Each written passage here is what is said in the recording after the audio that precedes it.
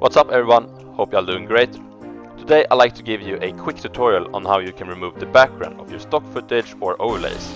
This is a necessity if you want to take edits to the next level. And speaking of taking your edits to the next level, I have just released my first editing pack, which contains everything you need to become the editor you always wanted to be. You'll find a link to this pack in the description. But without the way, let's get right into the tutorial.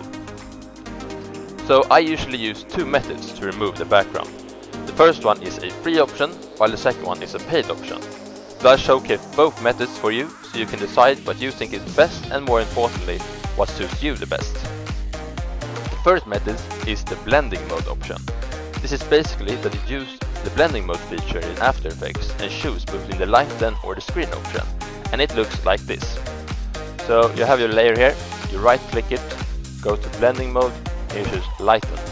This will remove the background and you can also choose screen which also removes the background. Then let's put this to normal. For the second method you are required to have the Red Giant Universe plugin.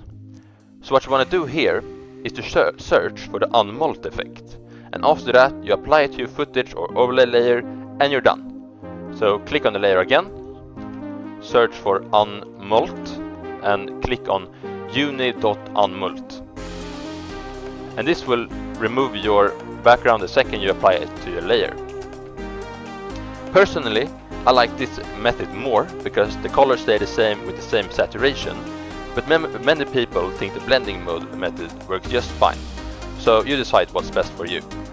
Thank you all for tuning in, and if you liked and found this video useful, don't forget to leave a like and drop a follow. See you in the next one.